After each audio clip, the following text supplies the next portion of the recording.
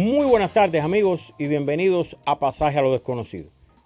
Hace algún tiempo transmitimos un programa donde nuestro querido amigo, el doctor Nivaldo Hernández, presidente de la Sociedad Cubana de Neurociencias y a quien consideramos parte de este espacio en este cuarto de siglo, estos 25 años que ya llevamos en el aire, nos dio una sugerencia. Él había elaborado una lista de 10 temas o razones por las que el sexo, su práctica, contribuye al bienestar humano y en especial al bienestar neurológico del ser humano. El vino presentó su lista, la explicó. ¿Y qué sucedió? Ah, perdón, que usted no lo vio o no recuerda aquel programa. Con mucho gusto le presentamos un resumen, pues dicen que recordar es volver a vivir. El fitness, la forma física, es algo que se produce porque tú logras entrenar, entrenar y descansar y hacer muchas cosas. Pero entre las, lo fundamental es hacer ejercicio y el sexo representa un ejercicio. Por ejemplo, en, una, en media hora de sexo se gastan 85 calorías. Tu postura mejora mucho cuando tú realizas sexo fisiológicamente. O sea que esa es la segunda. ¿Por qué, ¿Por qué la postura? Porque, porque uno de los elementos fundamentales de tu postura es, son los abdominales y los glúteos y los paravertebrales. Que esos paravertebrales te mantienen erecto como tal. La actividad del perineo sobre todo es muy fundamental para las mujeres porque producto del parto, muchas mujeres se le debilita el, periné.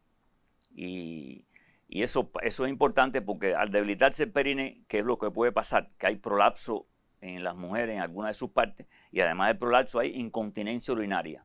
Y el sexo entonces hace una cosa que son como los ejercicios de, de Kegel, que es para estimular esos músculos del periné. Y esos músculos del periné, cuando, cuando se realiza el sexo, se activan fundamentalmente en la mujer mucho más que, en el hombre. Que hay un mito que se dice que el sexo te puede matar y, es, mentira, mentira. Se ha demostrado, hay, hay estudios que se han hecho que demuestran que las personas que hacen sexo tienen menos posibilidad de infarto que los que no hacen sexo. El quinto es el estrés. El sexo tiene una actuación antiestrés. La oxitocina que se produce es la, hormona de la amistad, del amor, de todas estas cosas, pero también es la hormona antiestrés más potente que se produce. Y te reduce los niveles de ese cortisol que es tan dañino cuando el estrés se hace crónico. Por eso, como el hombre de la, tercera edad generalmente no tiende a no tener sexo, eso se le acumula dentro del lugar y se acumulan muchos agentes cancerígenos que se sabe que, han, que promueven el cáncer de próstata. Eh, se ha demostrado que los ancianos que realizan sexo y que no tienen que ser solamente sexo de penetración, sino puede ser sexo oral, puede ser sexo eh, masturbación, puede ser caricias, puede ser besos, que esos ancianos tienen un, mayor, eh, tienen más alegría en la vida, un estado de ánimo mejor y, realizan un, un envejecimiento más satisfactorio. El sistema inmune durante la actividad sexual se, potencia. ¿Por qué razón? Bueno, por toda la serie de, por la oxitocina y por toda una serie de sustancias que se liberan y además porque como hay predominio del sistema parasimpático, el sistema parasimpático estimula la actividad del sistema inmune. El sueño tiene una relación con el sexo interesante, porque las personas que tienen trastorno de sueño, insomnio por ejemplo, si hicieran sexo antes de dormir, eso le va a provocar que duerman mejor.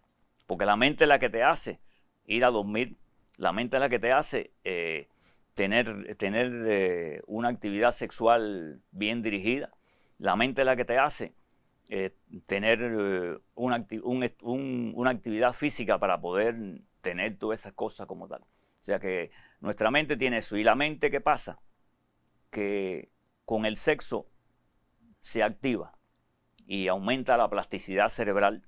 Y si tu plasticidad cerebral aumenta, tú tienes entonces una mayor eh, función, no solo sexual, sino para todas las actividades de la vida.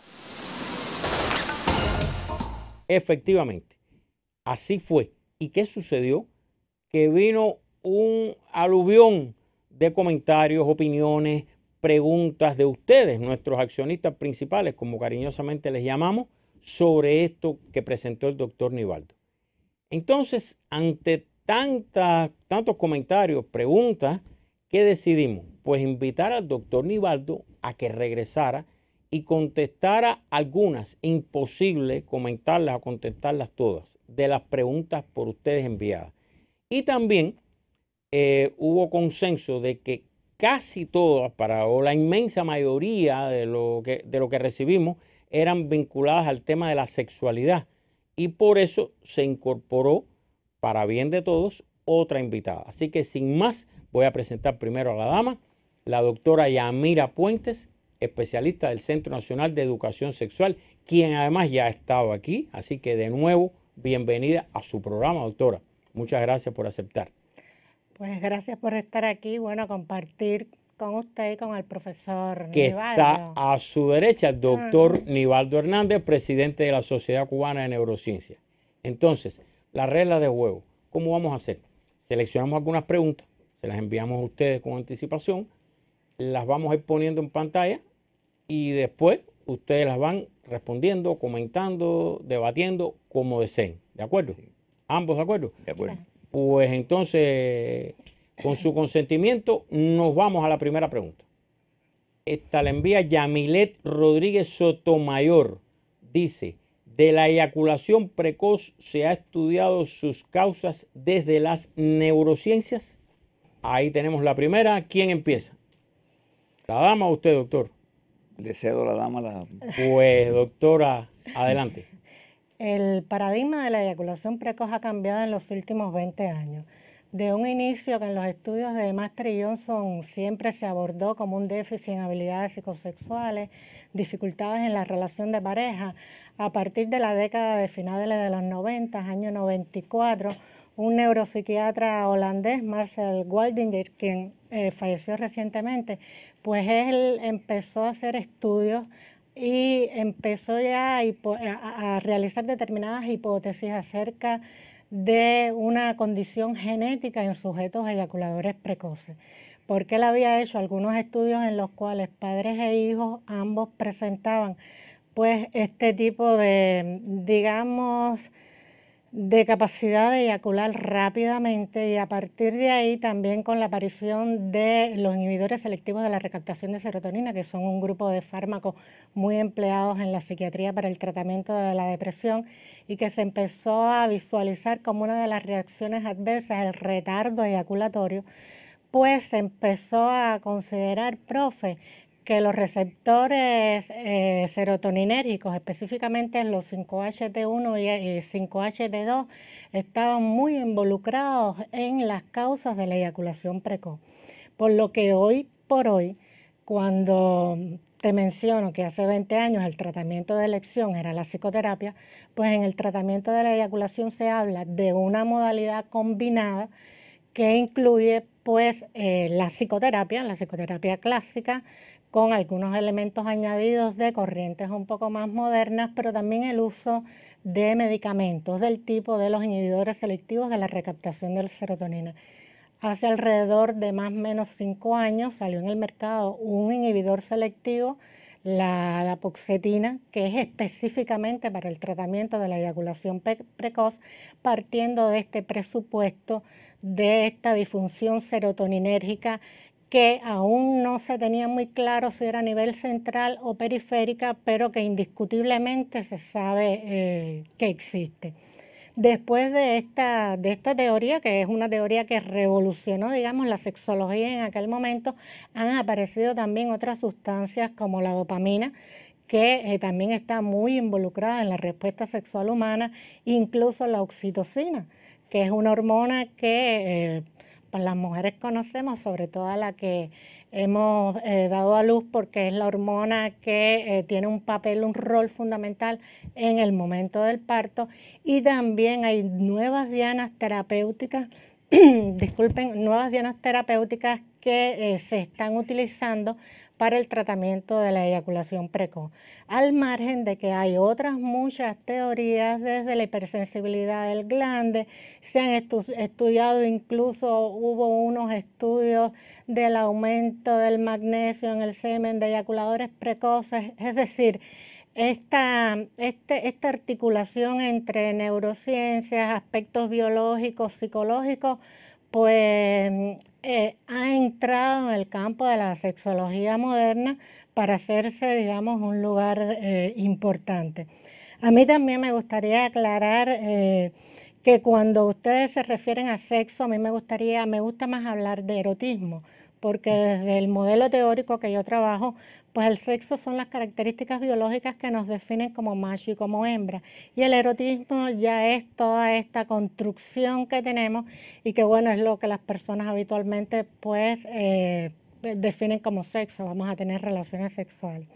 Hay otro, otro asunto eh, también importante, profe, con el tema de la eyaculación y que mucha, en muchas oportunidades las personas, que a mí eh, me sucede, que los tiempos de latencia eyaculatoria, como que la percepción a veces no e, es un poco irreal. Y entonces llegan personas pensando que son eyaculadores precoces y cuando uno entrevista pues se da cuenta que no lo es porque incluso los criterios diagnósticos en los últimos 20, 25 años de qué es lo que es un eyaculador precoz y qué no es un eyaculador precoz han cambiado muchísimo. Si yo le entendí bien, hay un cambio hacia medicamentos, química y no tanto terapia para este tema de eyaculación precoz. ¿Es así? No, no. ¿Pastillas? No, no, no. Es un tratamiento combinado. Un tratamiento, no se renuncia a... No, no. yo en lo particular nunca renuncio no, al tratamiento. No se renuncia, pero sí está muy de hecho la presencia de los receptores de serotonina. Y genéticamente tú puedes tener más o menos. Los eyaculadores precoces tienen esa, esa dificultad, ¿no? tener menos receptores de serotonina, porque la serotonina retarda el proceso de esto.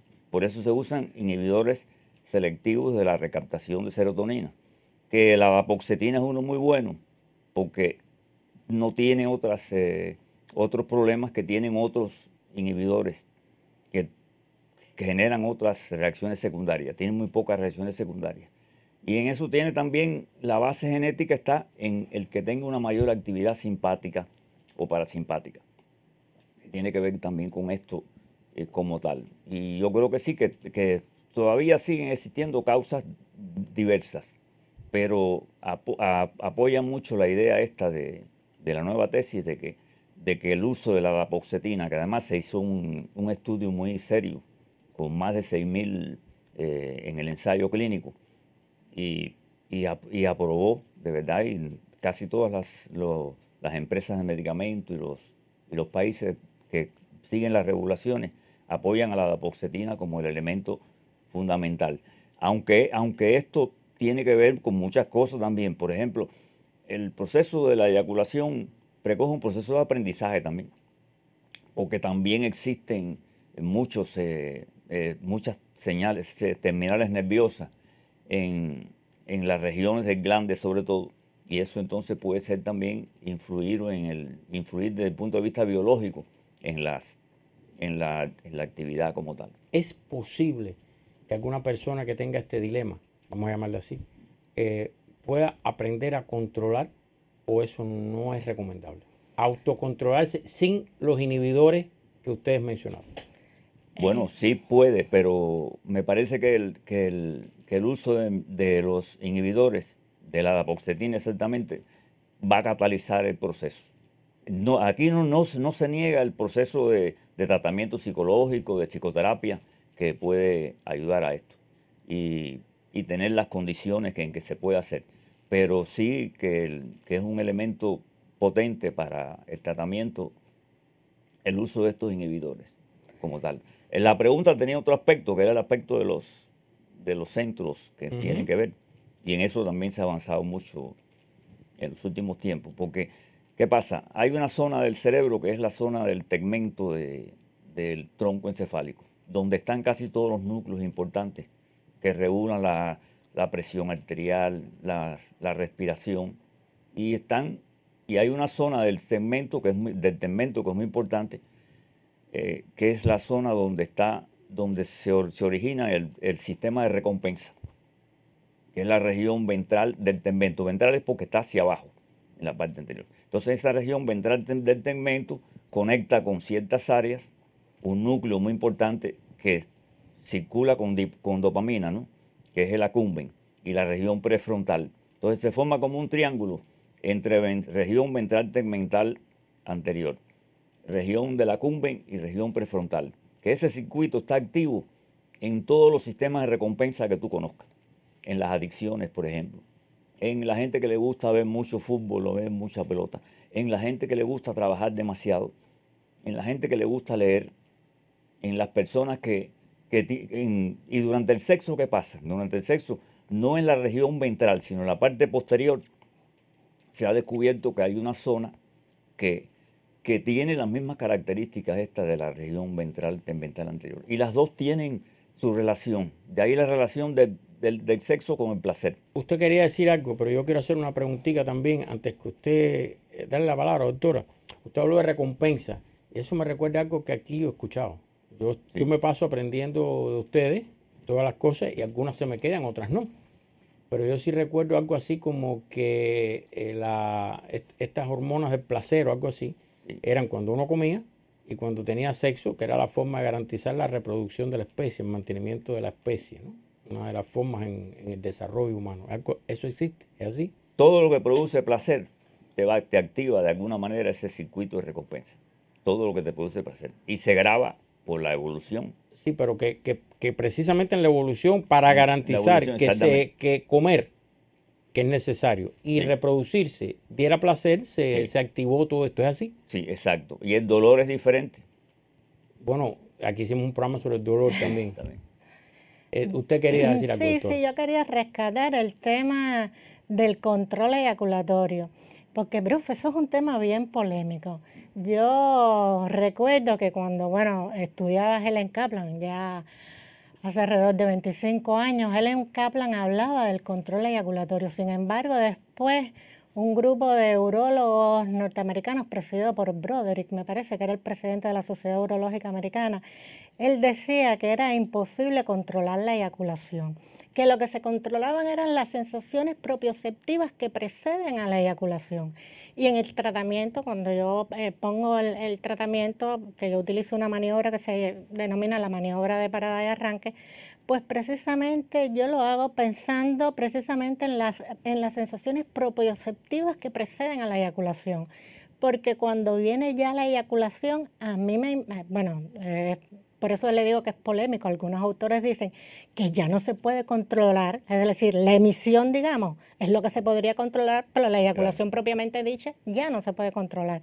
Por eso yo, cuando el profesor dijo lo del control eyaculatorio, me, me quedé así porque durante mucho tiempo, pues sí, Incluso cuando uno tiene, viene personas jóvenes a la consulta, uno lo que trata es de hacer como un entrenamiento en el control del esfínter, como si fuera el esfínter vesical, pero el esfínter eyaculatorio. Pero me llamó la atención porque recordé esa polémica que existe en todas las ciencias y la sexología, que es una ciencia muy nueva, pues existe más. Y, y, y bueno, con un profesor como Nivaldo, que tiene tantos conocimientos, pues quería llamar la atención sobre esto de, pues se podrá controlar, no se podrá controlar la eyaculación. ¿Usted cree que se puede controlar? Yo trabajo con las sensaciones que preceden a la eyaculación.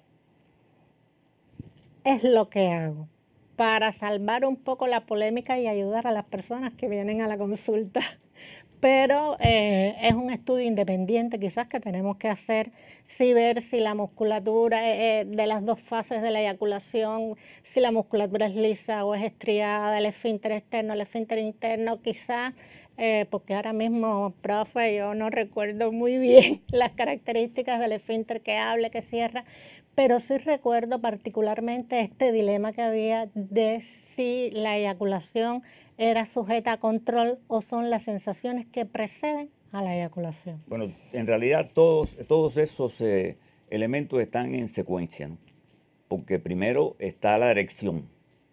La erección es un proceso donde predomina qué cosa el parasimpático.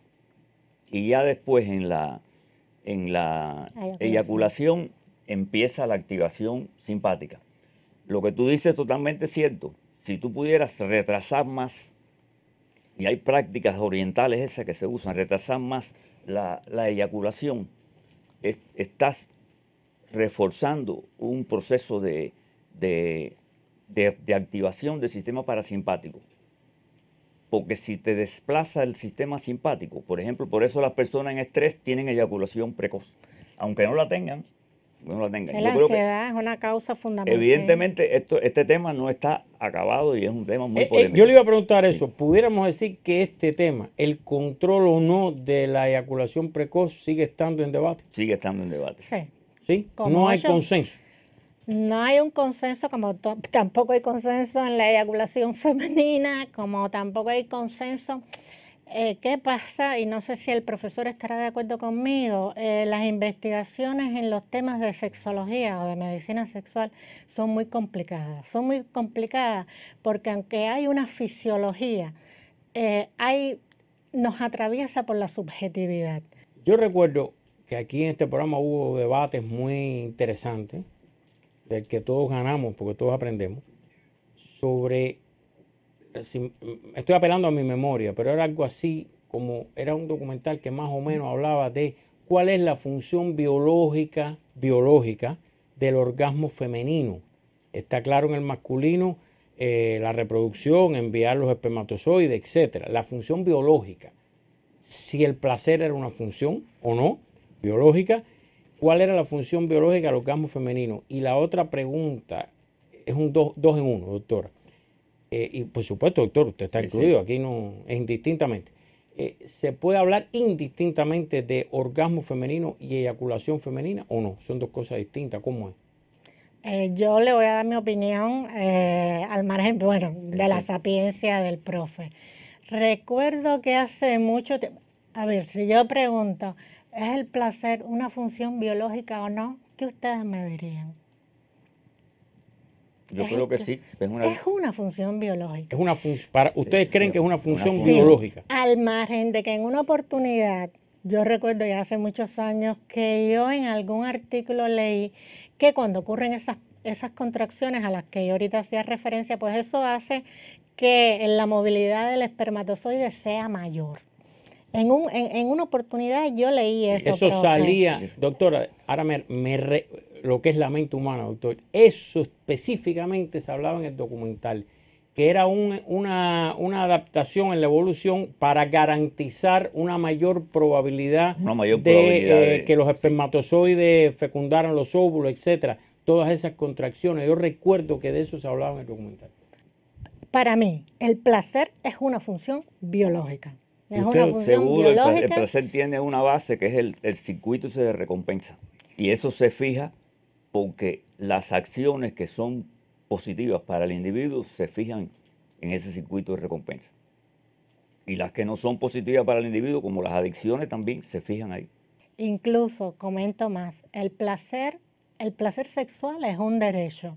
Yo pienso que es uno de los derechos más invisibilizados que existen y justamente los 4 de septiembre que se celebran los Días Mundial para la Salud Sexual, este año la Sociedad Mundial lo escogió precisamente eh, alrededor de los temas relacionados con el placer sexual en tiempos de pandemia. Entonces, eh, me vuelve a, a preguntar, ¿es una necesidad biológica el placer? Y yo sigo respondiendo que sí es una necesidad biológica se nos fue casi toda la respuesta en esto, pero yo le había preguntado si se podía usar el término orgasmo eh, femenino o eyaculación indistintamente o no. También. ¿Es, así? ¿Es, lo mismo? No, no, no, no es lo mismo. Eh, de hecho, yo recuerdo, si no me falla la memoria, que el último programa al que yo vine con el profesor Pedro Pablo Valle, la polémica estuvo alrededor de si las mujeres eyaculan o no yo expresando que sí, que las mujeres eyaculan, que yo consideraba que existía suficiente evidencia científica, y bueno, el profesor Pedro Pablo, eh, Pedro Pablo comentaba que no, que no existía suficiente evidencia científica. Y no, son dos, eh, dos mecanismos, son parte de la respuesta sexual humana, de la función sexual, pero son dos, mm, digamos, dos elementos indistintos, igual que en el hombre no es lo mismo eyaculación orgasmo aunque habitualmente se considera en nuestra cultura que eyaculación y orgasmo es lo mismo. Pero lo que sí no debemos usar indistintamente los dos términos, son diferentes. En oportunidades yo he, he, tenido frente a mí o he leído o he visto artículos donde se habla de los llamados orgasmos secos, que son personas que no eyaculan y que tienen orgasmo. Y por eso eh, siempre queda la duda, quizás, de si estamos hablando de un mismo proceso fisiológico, es decir, orgasmo y eyaculación. Y yo lo que pienso es que son fases de una respuesta sexual que aunque estamos habituados a verlos en un modelo lineal, excitación o, deseo, excitación, orgasmo, resolución, no necesariamente tienen que ir en ese mismo modelo lineal que indistintamente, en dependencia de la persona, en dependencia del contexto, en dependencia de una cantidad de variables importante, pues esa respuesta sexual no tiene por qué ser necesariamente lineal. Puede ser una respuesta circular, por ejemplo, como en ocasiones se describe en mujeres, que no empieza por la fase del deseo, que es la que habitualmente todo el mundo conoce. Bueno, la primera fase de la respuesta sexual humana, deseo. No, hay mujeres en las cuales se describe que no empieza así la respuesta sexual, que es un modelo circular que empieza por un análisis de la intimidad algo tan sencillo como eso y después entonces, bueno, puede venir el deseo, la valoración. E, es lo que yo pienso que sucede, porque, y, y no quiero dejar de insistir, que todo lo relacionado con el erotismo está muy atravesado por la subjetividad, incluso por la subjetividad de las personas que investigan el propio erotismo y la propia respuesta sexual humana. Eh, ¿Qué quiere decir eso último? Que hay, que puede ser que la persona que investigue tenga determinadas características propias biopsicosociales de cualquier tipo y esté un, pre, un juicio previo y lo traslade al, análisis de su investigación. Exacto, sí. Doctor. Sí, pero mira, el, el problema es que los experimentos que se hacen con animales te pueden servir para apoyar la idea de que el orgasmo incluye a la eyaculación o no. Puede ser fallida la eyaculación, pero te lo incluye. Ese es el problema que queda en esta situación. Eh, me parece, yo soy, partícipe, yo soy, yo soy partícipe de que el orgasmo es la actividad fundamental y que tiene que ver porque activa centros cerebrales y activa los centros inferiores donde se produce, digamos, la eyaculación. Pero, a ver, yo, a ver, rectifíqueme, yo creo que entendí un poco que si se hace el experimento con animales no se puede cometer el mismo error que hablábamos, ¿no? Bueno, el experimento con animales lo hizo Hostech también. Sí, Pero mi duda es, eh, ¿y en los animales está todo el factor, digamos, sociocultural que está con el hombre? No, no hay factor sociocultural, pero ¿qué pasa? Que si tú, por ejemplo, masturbas a un gato, como es, como es, como hacía él. El experimento que usted mencionó. El experimento que yo mencioné. Él masturbaba a los gatos. Y después entonces las parejas masturbaban a su pareja. Y encuentra que son las mismas áreas que hay en el gato que en el, que en el humano hay base para pensar que biológicamente existe esa, esa área que está controlando toda la actividad y que es secundaria la eyaculación a todo eso. Necesaria, pero secundaria. Usted sabe que yo tengo muchos eh, amigos y amigas en, los medios psiquiátricos, psicológicos, neurocientíficos. En el centro de ustedes yo orgullosamente lo conocí cuando era una cosita chiquita en una parte del CENIC. Pero cada vez que se habla de eso empieza el vamos a decir, el debate fantasma de biologicismo versus no sé qué, ¿no, no le parece? Pero ¿por qué Que digan que, que, se están priorizando factores eh, biológicos ante los socioculturales. ¿Por qué temerle? En el hombre, miren, en el hombre la sexualidad es diferente que en los animales, pero tienen las mismas bases y las mismas eh, y los mismos eh, hormonas, los mismos neurotransmisores. Lo que pasa es que el hombre le da una, el hombre, por ejemplo, es un primate que vive dos o tres veces más que el, que el resto de los primates. ¿Por qué razón? Si hace 7 millones de años vivíamos al mismo tiempo, unos 20 años. Y entonces ahora el hombre vive 60, 90 años y sin embargo los otros primates siguen viviendo 30, 30 años. Lo que quiere decir que el hombre con su evolución cultural, que hace una coevolución biológico-cultural, logra mucho más adelante. Y tiene que ser en la sexualidad también. La sexualidad del hombre es completamente diferente a la, a la sexualidad de los otros. Pero, pero en las partes fisiológicas del orgasmo y de la eyaculación son muy similares. Para ir cerrando, doctora, este tema que mire, vamos por la primera pregunta. Claro, no, no, yo solamente quería señalar porque me ha llamado la atención que la propia respuesta nuestra, desde nuestras áreas del conocimiento, el profesor que es neurofisiólogo y yo que soy psiquiatra, pues yo no sé si, si te fijas, Taladrí, que ha atravesado la construcción que hacemos de un mismo conocimiento. ¿Entiendes? Si lo explica brevemente, mejor para todos. No, no, no, no, la misma explicación, es decir, que el profesor le ha dado de un mismo fenómeno que él lo aborda más desde la neurofisiología, desde que la respuesta sexual humana puede equipararse a la respuesta sexual como proceso fisiológico. Yo eh, realmente no pienso lo mismo porque para mí eh, todo lo que tiene que ver con el entorno sociocultural no es solamente que influye, es que determina y define cómo nos comportamos de diferente. Entonces tengo, e, e, es decir, yo pienso que la eyaculación en los seres humanos se inhibe por una cantidad de factores que para nada tiene que ver con la inhibición que se realizaría, digamos, por ejemplo, en los animales. Entonces, es como para que se entienda cómo nuestra formación también atraviesa la manera que tenemos de ver el mundo y cómo en una investigación también la manera que tenemos de ver el mundo, obviamente, la va a atravesar. Y cómo el tema no está cerrado. es sujeto a polémica y a debate, que creo que al final ganamos todo, porque aprendemos por aquí de unas cuantas cosas, por allá de unas cuantas cosas, la mezcla, y no es así. Entonces, a ver, vamos por la primera pregunta. Le propongo pasar muy rápido a la segunda, que creo, vamos a ver qué pasa, pero vamos a la segunda pregunta. Esta la envía Sony Menéndez Acosta. Pregunta, ¿el sexo para las personas con discapacidad puede mejorar su calidad de vida y estado de ánimo?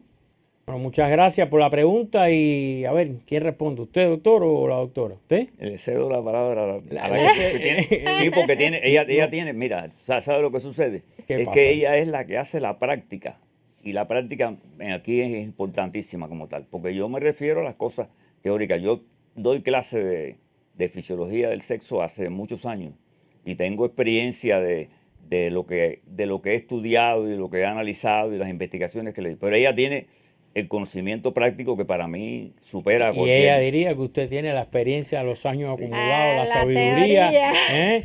y además que, el, y además que el doctor Nivaldo es una de las personas más valientes eh, científicamente que yo he visto y que conozco, que defiende criterios, que es capaz, argumentado siempre. Eh, no estaba en el guion hablar de usted en este caso, pero yo con mucho gusto lo hago. Entonces, usted le cede la palabra. Sí, bueno. Bueno, adelante, doctor. Em, Estamos hablando de discapacitados. Ajá. De personas, a mí me gustan más que discapacitados, personas eh, con discapacidad o personas en situación de discapacidad. Y, y mira, esto conecta mucho con lo que estábamos discutiendo como el placer como una función biológica. Eh, el profe habló en el programa anterior de los beneficios del erotismo, de las relaciones sexuales, de las endorfinas, de las dopaminas, de las sustancias que se liberan, que incluso hay varios estudios que hablan cómo eh, realizar, eh, tener coitos, ya en materia de coito, mejora la calidad de vida de las personas, disminuye el riesgo coronario, por ejemplo, eh, y en personas con discapacidad o en situación de discapacidad, ¿qué ocurre?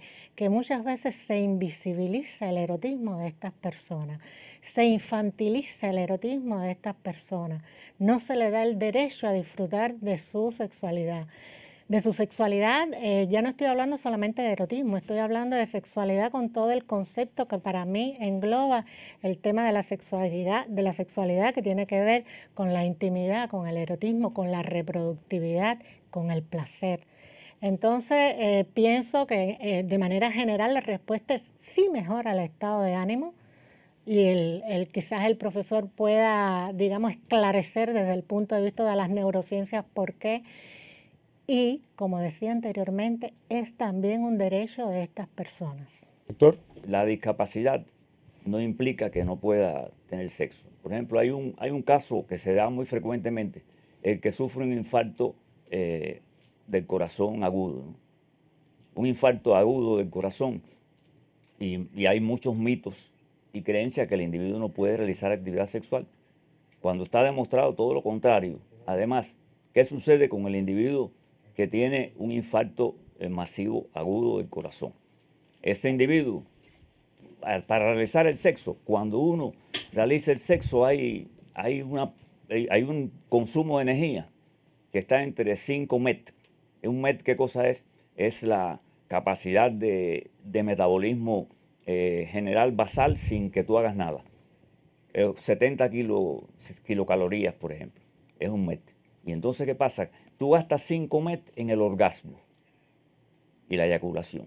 Entonces, eh, pues, ¿qué pasa? Que tú tienes 3.7 MET después que tú realizas el, después, en, la etapa posorgasmo. Pero ¿qué sucede? Que cuando un individuo sube, sube escaleras, el individuo puede gastar esos 5 METs. Entonces, si un individuo después del infarto masivo, en, proceso de recuperación, él es capaz de subir escaleras sin sentir dolor, él puede realizar actividad sexual porque va a gastar la, va a consumir la misma cantidad de energía. Y además los estudios epidemiológicos que se han hecho demuestran que sí, que el individuo eh, que está discapacitado por el problema del, del infarto que tuvo, no, no, no necesariamente no tiene que hacer actividad sexual.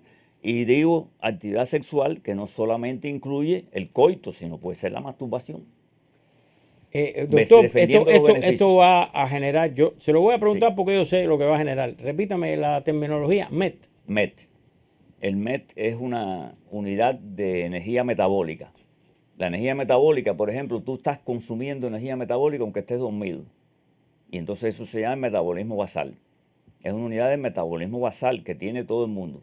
Entonces, cuando tú gastas por encima de ese metabolismo basal, que es sin, en condiciones de, una temperatura adecuada y, y, sin hacer esfuerzo físico, tú estás consumiendo, por ejemplo, tú te acuestas 10 días y tú estás consumiendo energía porque es el metabolismo basal. La unidad de ese metabolismo basal que se gasta, que es en calorías, ¿no? En calorías son 70 calorías. En, consumo de oxígeno es 3.5 mililitros por kilogramo por minuto. Eso es lo que se llama el MET. ¿Un MET equivale a eso? Un MET equivale a eso. Entonces ahora se va, yo sé, ahora va a ponerse de moda, eh, gastó tantos MET, eh, esto equivale a tantos MET, ¿no? Sí, exactamente. ¿Es así? Sí, así mismo. ¿Es, correcto? Es correcto, sí. Y entonces eh, está comprobado que la actividad sexual gasta, gasta es la palabra, no sé si es correcto decir gasta, consume tantos MET. Consume 5 MET. Sí. El orgasmo, el orgasmo. El momento de los, El momento del orgasmo. Sí. Ya, pero a mí me gustaría rescatar algo que, había dicho el doctor y es referente a que no necesariamente hay que ver la actividad sexual como coital, sino que puede ser el autoerotismo, pero que incluso porque estamos hablando de personas en situaciones de discapacidad o personas con necesidades especiales, no tiene ni que existir una penetración para que exista un momento erótico que sea placentero y que mejore el estado de ánimo porque entonces me parece que a veces nos estamos concentrando mucho en, el coito, en esta visión coitocéntrica, y, no, es mucho más que eso, no solamente para las personas con necesidades especiales o las personas con discapacidad, sino para todos y todas. ¿eh? Bueno, ahora tenemos un problema, que yo creo que es de los buenos, que ya se acabó el tiempo del programa. Y vamos por la segunda pregunta, y teníamos como seis o siete para ustedes ahí más o menos, seis. o siete, más o menos teníamos. Y ya se acabó el tiempo. Yo les quiero proponer algo. ¿Ustedes estarían de acuerdo en regresar la próxima semana y terminar de contestar las preguntas que nos quedan?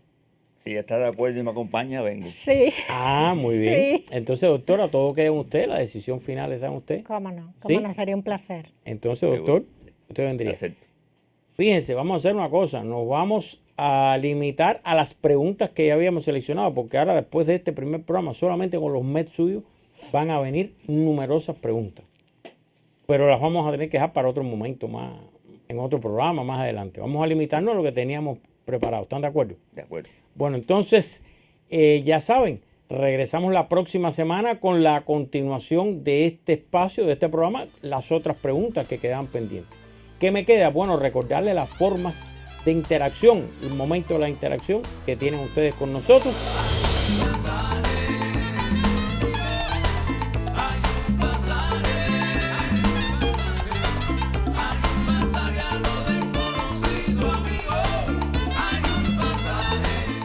Como ven, siempre dejamos de última, de final, el programa de Radio Rebelde. Ahí lo están viendo de nuevo en pantalla. Sábados 12 y 15 del mediodía por Radio Rebelde. Y ahí vamos a tener por vía telefónica o en vivo en el estudio, pero siempre en vivo en cualquier caso a los dos doctores. Así que prepárense. Sábado 12 y 15 del mediodía. Los espero ahí en Radio Rebelde. Ustedes también. La gente llama, pregunta, micrófonos abiertos, así que listo. No, doctora, bueno para todos. El primer programa de Radio Rebelde fue con temas del CNSEX. Su presidente estuvo ahí, fue la que inauguró el primer programa de Radio Rebelde eh, de este espacio. Así que continuamos la tradición. Y con usted también, doctor, que ha estado muchísimas veces. Muchísimas gracias a los dos. Lo espero la semana que viene. Y ustedes, amigos, solo me resta, como cada semana, invitarlos a que esto sea solo el inicio, para que usted busque, lea, vea, escuche, analice, alimente su cerebro, para que, como siempre les pido, al final saque usted sus propias conclusiones. Buenas tardes.